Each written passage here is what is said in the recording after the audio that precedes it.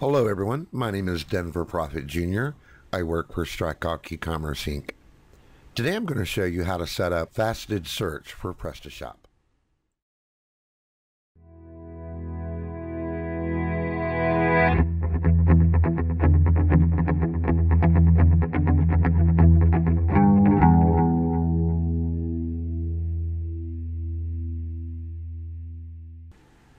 So here's kind of what it's going to look like. I've been reorganizing the categories for this client. As you can see, they have way too many. And Faceted search is going to help them with that because now I can begin to uh, take, like with the uh, pendants, and create a subcategory of pendants to clump all of their crosses together. and then um, work on their features and their attributes. The thing you need to know about features is they're not going to be things that will be uh, unique for an, a shelf lookup unit or a UPC or EAN code.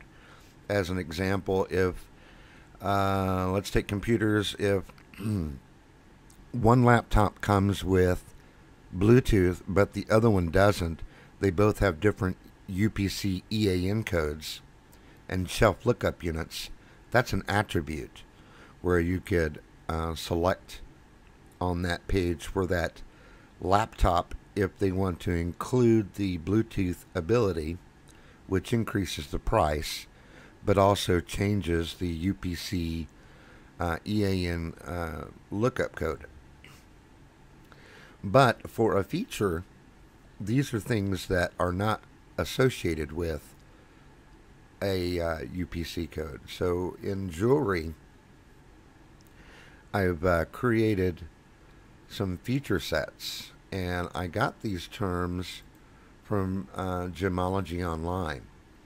So I wanted to get classifications that are uh, widely known and um, make it uh, semantic.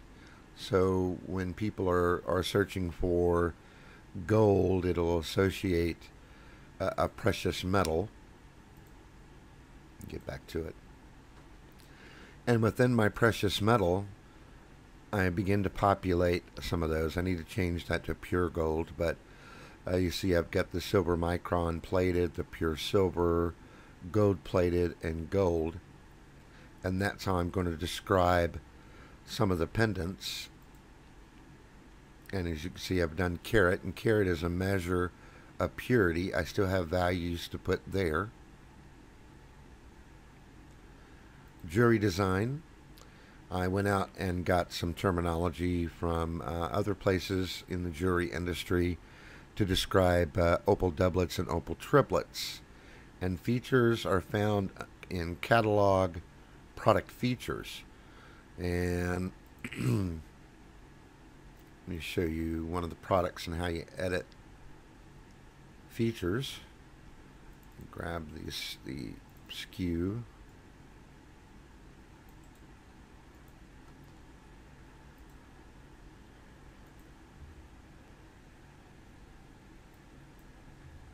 There we go. Search Let's edit that product. You're going to come down to the Features tab. And these are pre-filled because we already populated from here. So you just select the kind of metal, precious stone, carat, jewelry design your product is. You wouldn't fill this in. Well, you can, um, but I would suggest that you keep adding uh, feature sets over here because you have more products that'll probably need to have that designation. So I've got these filled in. And now, here they go. So here's the data sheet. And that shows up down here. This, these are semantic key terms. So when people are searching for uh, Christian cross or a pendant Christian cross with uh, silver micron plated, you can see how the keyword density goes up because I'm using it because it's more than once on the page. It's also in the uh, uh, breadcrumb, and uh, my pet peeve is making sure that you have taxonomy set up correctly. So when you go through and start organizing, don't do like this, where you've got a billion cat, uh, subcategories just to describe your product. You want to go with what's semantic. So pendants is a subclass of jewelry, and crosses is a uh, a dependent term of pendants. It describes the kind of pendant that they may want to purchase. So here, that's how you do the uh, features. Now the attributes, I'll go back and show you that real quick. So here you're looking for products that may have a color and within PrestaShop you can assign an image of your product in emerald green, black, and as they go across uh, the attribute selector for color, the photo will change. And I really don't have time for that right now. I just want to show you that, yes, you, you want to set up your attributes correctly, and these remember that's SKUs that change with the attribute selector. Features do not. Um, I'm not sure if a double stitch or a triple stitch would matter on, say, a pair of blue jeans, if that would change the SKU or not. But if it is a feature that does not change the SKU or the UPC or the EAN, then that would be a feature. So you get all those set up, you get your product features set up. You come back and you edit your product. Make sure that the uh, data sheet describes uh, everything that you want as a feature and not an attribute. And then you're going to come over to block layer and you're going to activate that.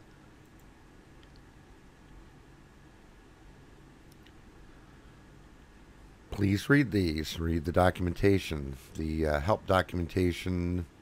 Um, I'll get. I'll put that in the, uh, the video text. So you want to set up your cron jobs. And that's if you uh, are constantly making changes to your products. This, and then you will have to set up a, a day or a, or a week or a month. So if you change your prices daily, you want to set up a cron job that's daily to re-update the prices on your faceted search. A nightly build is recommended. Let's uh, edit this. I want to give it a better semantic term. Uh, this is going to be jewelry pendant faceted search. You want to make sure that you select the correct category that it's going to show up on. And then you want to put the features that are going to show up. I won't have a subcategory of crosses, so I'll unselect that. This client does not track uh, stock filters, so don't need that. And all items are new, so we don't need a condition filter. Uh, they do not display the manufacturer or the weight. Right now, the price doesn't matter uh, because there are only nine items, I believe. But when I'm done with this, there'll probably be about 60 to 70 items, and they will go over $1,000, $50, $100. So maybe at that time the price filter would uh, matter. And I'll go ahead and turn it on now so you can see what that looks like.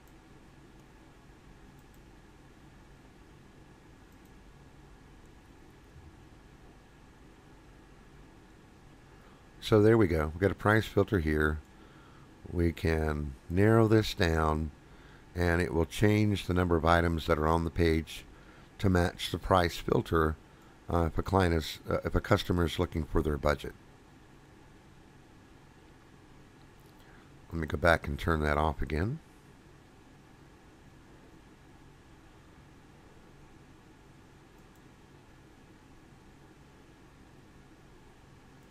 And off you go. I have to work with this client again to uh, separate the kind of attributes and make them more descriptive. This color could be for a certain type of product, and they certainly should have put that as the attribute name. But what we're going to go down to here is our feature sets that we created specifically for jewelry. So we've got the precious metal, precious stone, the carat purity, and the jewelry design. Opal uh, doublet or triplet so far. Probably going to have a lot more than that. It made more sense to me to put checkbox, but you can certainly do a radio button or a drop down list. I think it's easier on um, mobile to do a checkbox. You use your own preference there. And these limit the number of results. I really wouldn't, wouldn't would mess with that right now. So here we've got uh, 29 products that are that are filtered because we have selected four values here. So let's go over the top when you create your templates. Make sure that your template name is uh, related to the type of faceted search you're creating. You know, if this is going to be for blue jeans or if this is going to be for, like I said in the previous example, with uh, desktops or laptops with Bluetooth, and you would put uh, something descriptive along that nature. Next, you would select the specific category or parent category to include subcategories. And when you include the category, the main category, which will be the folder icon, you may want to uh, make sure that subcategories in that category are also filtered so that faceted search so shows up on those subcategories.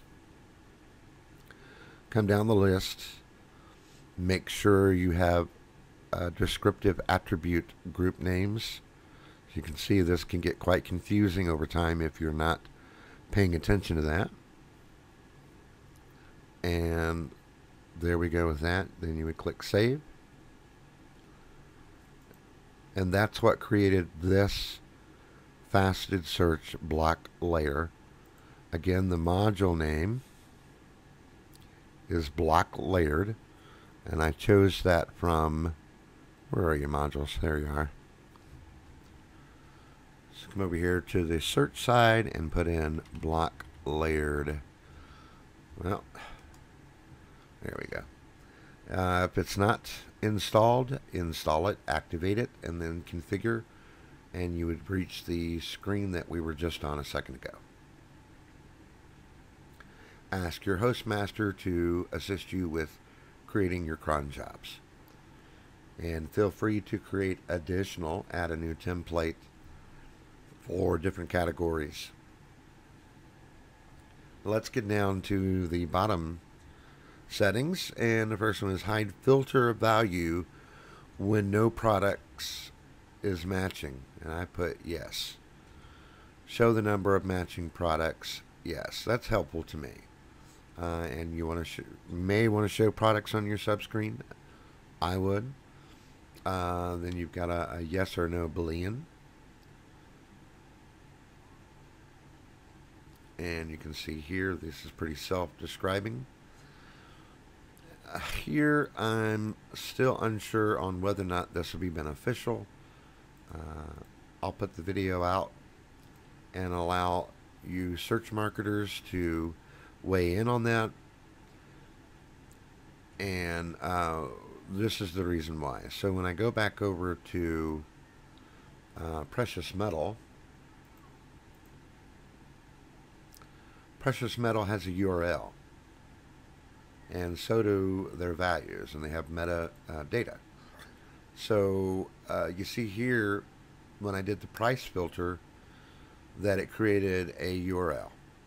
Uh, but I don't like price right now. Let's clear that out. Well, darn it, didn't clear it out, did it?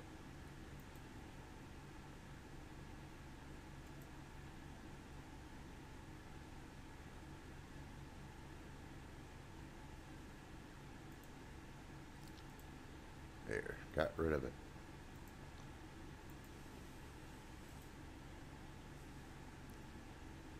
There.